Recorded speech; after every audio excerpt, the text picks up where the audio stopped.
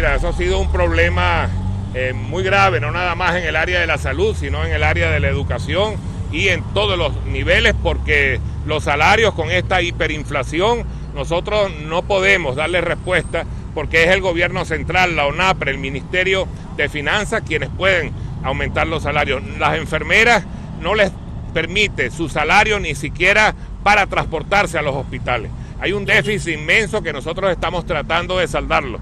Sin embargo, el llamado es para que desde el gobierno central se hagan anuncios importantes para que puedan eh, reconsiderarse los salarios que en este momento están gozando nuestros empleados.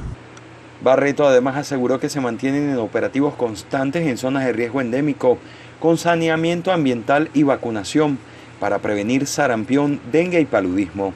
A toda esta acción de saneamiento ambiental, por supuesto hay que seguir acompañado de fumigación y de totalmente vacunación para que nosotros podamos eliminar enfermedades que han venido pues siendo consecuentes en nuestro estado. Sarampión y por supuesto también el dengue y la malaria.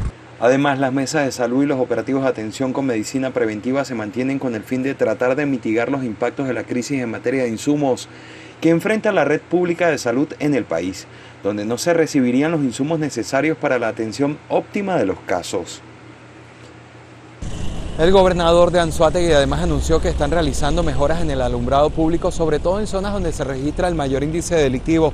Recordó que la Policía Regional se encuentra intervenida desde hace dos años por parte del Ministerio de Interior y Justicia, pero ellos realizan labores para brindarle tranquilidad y tratar de mejorar la seguridad en la región.